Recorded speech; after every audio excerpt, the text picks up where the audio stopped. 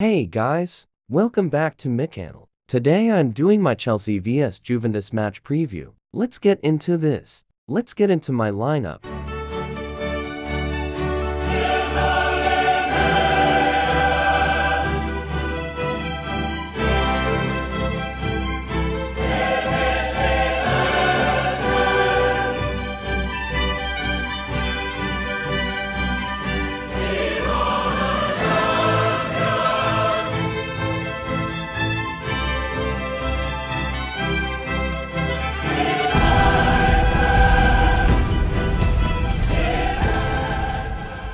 I think this will be quite a tight game with both teams looking to top this group. In the reverse fixture we lost 1-0. I don't see this happening in this game with us having lots of players back from injury. I don't think Lukaku will play in this game, as we probably don't need him.